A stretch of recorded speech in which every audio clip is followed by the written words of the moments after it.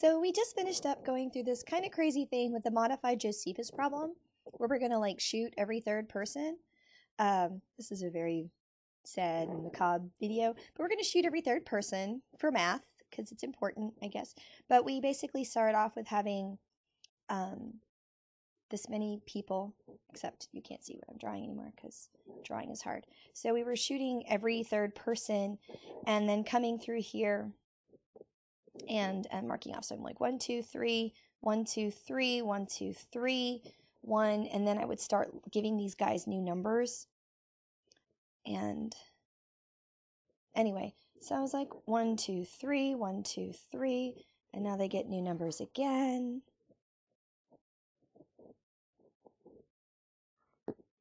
And then I go one, two, three, one, two, three, and then I get new numbers again.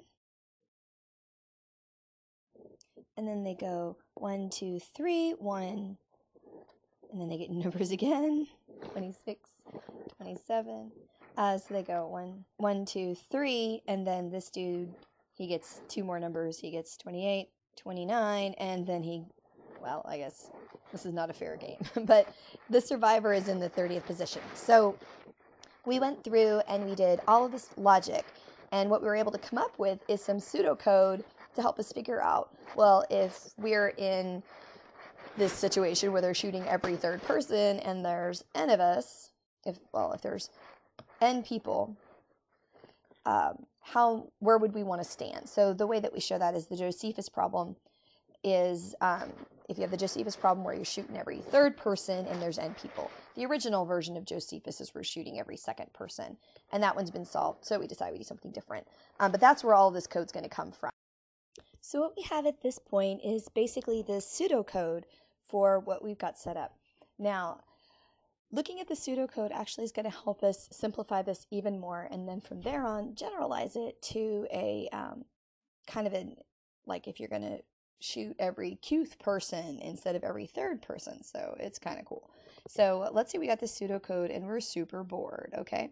Because I don't really know why else you would be here right now, except maybe because you have to be. But aside from that, um, let's say that we're going to let d be equal to 3n plus 1 minus n, okay? And where that would have come from is when we had our um, previous, we had n previous is equal to 3k plus 1. So basically we're kind of moving that over there and then just setting the whole thing equal to some new variable d. So if you're kind of wondering where that came from, it came from that n previous. But in any case, assuming we're letting d equal to 3n plus 1 minus n, that means that n is going to be equal to 3n plus 1 minus d. Now what we're going to do is we're going to come in here and we're going to change everything in terms of d. So let's write everything in terms of D. And it's going to be super cool um, because what's going to happen, spoiler alert, is um, really pretty stuff is going to pop out. Okay, so we've got that. Now, let's come down here and take a look and see what we can do next. So the first thing that we have is we have this n equals 3n that you can see right here. So we have this n equals 3n. So we're going to come over here and we're going to say, okay, n equals 3n. And we're going to use this substitution here and just rewrite that in terms of d. So this guy is going to become, so we have n is 3n plus 1 minus d. Sorry, my voice is all like kind of crazy. Is that's going to be equal to 3n. So clearly, I was like saying that because nothing is ever clear in science, math. No, it's always clear. I don't know. All right, so basically we instead of saying n equals 3n, we can say d equals 1. Now we do have to be careful because the d and the n are both assignments. So whenever we're programming, we're really assigning the variable n. So like I think it's pretty obvious that when you're coding, if you have something like this, you can't just be like, oh look, both the n's cancel out. Okay, so you have to be careful not to do anything like that with our numbers that are um, the, the assignments. So when we're assigning and changing the values of n and d. So we want to be careful, but this is still totally doable. So now I'm going to look at this uh, next line that we have, which is while n is greater than n. So um, we have while n is greater than n. So what we're going to do with that is we're going to say while 3n plus 1 minus d is greater than n. And again, little n is just is not changing values throughout the while loop. So we can just go ahead and move it over. So we've got here that negative d, sorry, is that yeah, my voice sounds terrible. it's probably not the best time to record a video. But anyway, I've got negative d is greater than negative 2n minus 1. All right, so then I'm going to come through here and I'm going to multiply the whole thing times negative 1 because I'm kind of awesome at algebra. And that means that that all switches, 2n plus 1.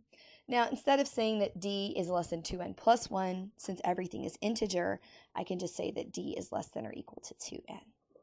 So there we go. All right, now the next thing I'm going to look at, this one's going to be even better. Come here, girl. All right, whatever. Um, I'm going to look at this one. So I'm going to change that. Now, I have to be a little careful, but it's still going to be okay. All right. And I know that was super vague and in no way helpful, but it's okay. All right. So I've got n is equal to n minus little n minus 1 over 2 plus n minus n. All right. So this this sucker's got a lot more going on. So the n is again going to be replaced with 3n plus 1 minus d.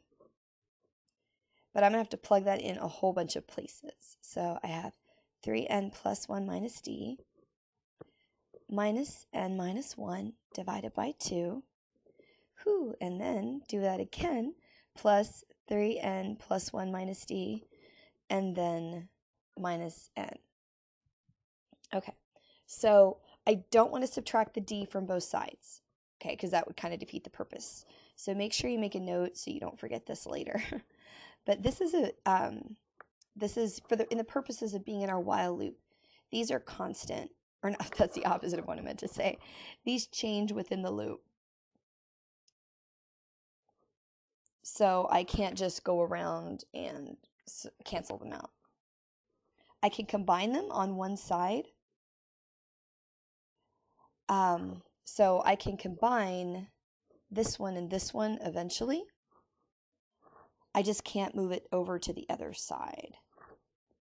So can combine cuz on same side. Yay! Okay, so I can, however, totally get rid of the 3n because it's just a stupid constant, and actually can totally get rid of the plus 1 because it's also just a stupid constant. Stupid constant. I'm sorry, constant. I didn't mean it. All right, so I've got minus d, and this is all kinds of crazy in here. Well, not really, but we'll just, you know, it keeps the kids excited. Um, so I've got 2n and then plus 1 minus 1 minus d. Yeah, 2n minus d. All right. And then all that gets divided by 2.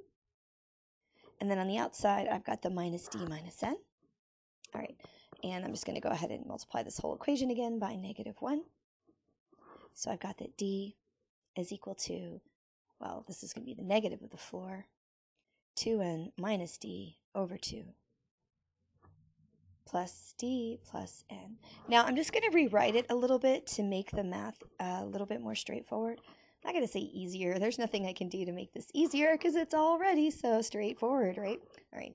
Um, minus n minus d over 2. Okay. Now, um, because d over 2 is going to be an integer, I actually can do something kind of neat here. So um, because d is an integer, I can separate this term out. So instead of having uh, the floor of n minus a half of d, I can separate that out into, um, and if it, if it helps, I can kind of do in a little aside here. So I've got n plus a negative d over 2. Okay. So if I floor both of these, since n is an integer, and um, I'm just adding these together. It's not a multiplication. I'm actually more worried about multiplication than I am with um, with addition. And since n is an integer, it's like if I have the floor of 3 plus, I don't know, like 0.5, that's going to give me the same thing as if I do 3 times the floor of 0.5. Um, and I know it's negative, but it's the same. It's the same concept. Um, or even if I have three plus the floor of, you know, 7.2, um, or the floor of 3 plus 7.2, that's going to be the same as 3 times the floor, or 3 plus the floor of 7.2. The only reason that works is because n is an integer. If n was not an integer, that would definitely not work. But anyway, since it is an integer, that means that I can come through here and I can say, all right, so that's going to be the same thing as n plus the floor of negative d over 2. Okay, so that's the substitution I'm going to make right here. So I'm going to say minus n plus the floor of negative d over 2. And I'm just going to distribute the negative. This is kind of tricky. I mean, it's... It is, but it isn't. It's tricky enough that I'm being really careful with my steps because it's easy to do something dumb if you're not used to working with floors and ceiling functions. Well, this is just floor functions, but now I've got that going there. Okay. Now, resist the urge to distribute that negative. okay. Resist, resist, resist, resist the urge to distribute the negative. This is not equal to d plus the floor of d over 2. I'm sorry. There's nothing I can do about it. It's just not mathematically reasonable to do that. So let's just look at some examples and I'll kind of show you. So let's say I've got, well, I'll show you why. So let's say that d is 6. So if I have 6 plus, or let's say, well, we'll go with the original over here. If I have 6 minus the floor of negative 6 over 2, that gives me 6 minus a negative 3. The floor of negative 3 is negative 3. All right. And that gives me 9. Now, if I was going to do a plus, then I do 6 plus the floor. Oh, this is unfortunate because I think this is going to give me the same answer. Oh, I know why. It's because 6 is even. Well, anyway, so it does work here. Look, children. And this is, I guess, part of the problem with doing this kind of stuff is um, when you're testing these stupid floor functions, you've got to be careful because in this case, my floor or the thing inside my floor was an integer. So I didn't really get the full effect of the floor function. So this is good. But how's that? We'll pretend that was a pedagogical strategy. All right. Um, so let's say that d is equal to 7. All right. So now I've got 7 minus negative 7 over 2. So that's going to be 7 minus the floor of negative 3.5. There we go. So that's negative 4. So that's going to be 7 plus 4 is 11, like that. Now, if I go 7 plus the floor of 7 over 2, that's going to give me 7 plus the floor of 3.5. This is 7 plus 3. That's only equal to 10. 10 is not equal to 11. Okay, so that's how you can see that I can't just distribute. That was the whole point of that discussion, by the way. The whole point of that discussion is I can't simplify um, D with a, um, I can't just put that negative sign in there, which is kind of sad. However, what I can do is I can actually show that, and there's there's proofs I can do. So I'm not going to show prove prove. I'm just going to like look. It clearly works for two values, therefore it obviously has to work for all of them. So instead of distributing the negative like that, what we actually can do, so I'm going to put it exclamation point, it is in fact um, equal to d plus the ceiling of d over 2. And you might be able to see that just kind of looking at our example with the 7. Um, so obviously, obviously, that's a great word. Um, obviously, with the 6, we're still going to get, um, so I've got, I'm still going to get the 9, but if I go 6 plus the ceiling of 6 over 2, that's still going to be 6 plus 3 is still equal to 9. But over here on the right, where I've got um, the 7, I've got 7 plus the ceiling of 7 over 2, and that's going to give me the ceiling of 3.5, which is 4, and that's what I wanted. So this makes me happy, and I make fireworks. These are fireworks. They kind of look like weeds, or just scribbles. We'll pretend they're happy. It makes me a happy panda instead of a sad panda. All right, that's panda, and he's happy. So there. Um, anyway, so that's pretty cool that we can. Um, it, it, it's so counterintuitive because you wouldn't think it, but I can, in fact, I, I, I can distribute the negative, but when I distribute the negative, I have to flip the floor to a ceiling. I don't do this kind of stuff enough that I always just do that without thinking every time I have to do something like that. I have to go prove it off to the side just to make sure because I get all nervous, you know. It's like hanging out with a new friend and you're like, ooh, do they like me? Can I do this with this algebra? And they're like, maybe. All right, so I'm going to kind of schnook this out of the way.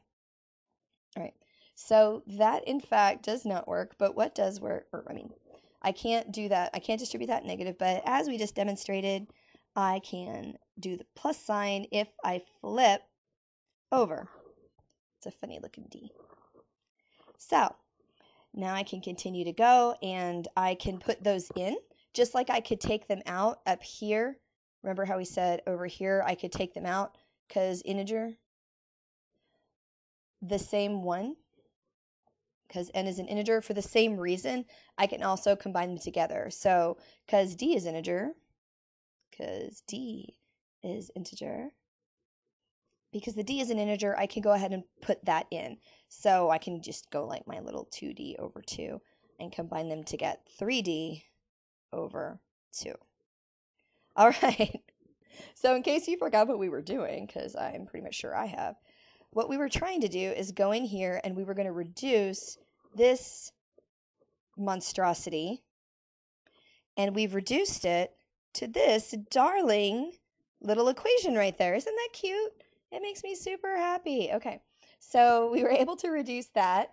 And then at the end of the day, the last thing I want to do is I know my answer is n, so I just have one more of these to do. So instead of displaying n, I'm going to um, just display the 3n plus 1 plus or minus d. Okay, because that's that's all there is to change. So, so now our new code. We have new code.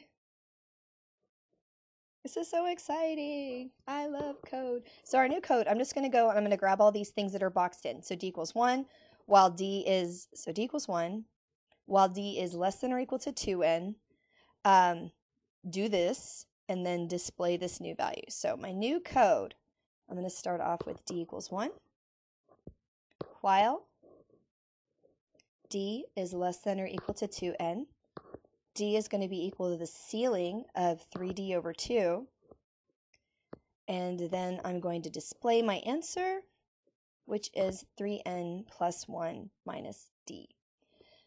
Now, what's amazing about this, and this is maybe a leap of faith, and it's one of those things that I could say for funsies, go do this on your own, but you can take all of these methods that we've done and you can actually go in and generalize it. So this was solving the Josephus problem where I shoot every third person and there's n people, right? Well, without too much effort, you can actually go through here through here and say, well, what if I want to solve the qth person if I'm going to shoot every qth person? So a lot of this isn't going to change, but when you can see this, well, say while now, if you kind of think about the relationship between 2 and 2 and 3, so the relationship between 2 and 3, and then here we have a 3 that is also related to a 3 because you know they're the same thing. Um, I'm really good at talking. I speak awesome. So basically now, instead of saying, well, d is less than twice n, we're going to say, well, d is less than q minus 1 times n. Okay, so um, instead of doing the 3, 3 minus 1 would be 2. So instead of 3, we could say, or instead of 2, we could say q minus 1. So while d is less than q minus 1, d is going to take on the value of the ceiling of q times d over q minus 1. So basically, everywhere we see a 3, we put a q. Everywhere we see a 2, we put a q minus 1. And then I'm going to display at the end of the day, my answer is going to be instead of 3n, it's qn plus 1 minus d. So I don't know if I could have seen this that well looking at this old code um, because here, I mean, I guess the twos and the threes are there, and I, I guess it probably would work out that same way. Um, but it is a bit more obfuscated because these are so complicated. And I think probably the first 18 times I tried to do this video, I kept dropping negatives and throwing things in weird spots. Um, so being able to come down here and write this in this kind of a format is just really, really straightforward. And it's kind of cool that by solving this problem in this really kind of weird way, we're actually able to generalize the the absolute like miscellaneous, I don't say miscellaneous, but the, the absolute general um, Josephus problem. So it's it's kind of cool.